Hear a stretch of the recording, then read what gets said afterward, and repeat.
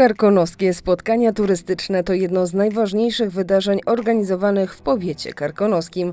Informujemy, iż 1 sierpnia upływa termin zgłaszania kandydatur do nagrody starosty karkonoskiego. Szanowni Państwo, jak co roku przed nami karkonoskie spotkania turystyczne, wielka gala, która jest podsumowaniem minionego roku, roku 2022.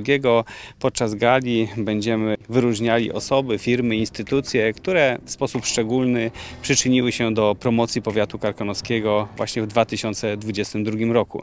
Nagroda przyznawana jest w pięciu kategoriach. Za całokształt działalności na rzecz turystyki, najefektywniejszą promocję zagraniczną regionu, najlepszy produkt, usługę turystyczną, wydarzenie w sposób szczególny promujące region oraz nowy produkt turystyczny regionu. Do 1 sierpnia czekamy na e, zgłoszenia. Z pewnością każdy z Państwa w swoim otoczeniu ma takie osoby, które w minionym roku w sposób szczególny przyczyniły się do promocji powiatu karkonoskiego. Zgłoszenia mogą być dokonywane przez członków kapituły konkursu, wójtów, burmistrzów miast i gmin powiatu karkonoskiego, a także radnych karkonoskich, radnych gmin i miast powiatu karkonoskiego, przedstawicieli organizacji pozarządowych związanych statutowo ze sportem, kulturą i turystyką w regionie, a także dotychczasowych laureatów Nagrody Karkonosz.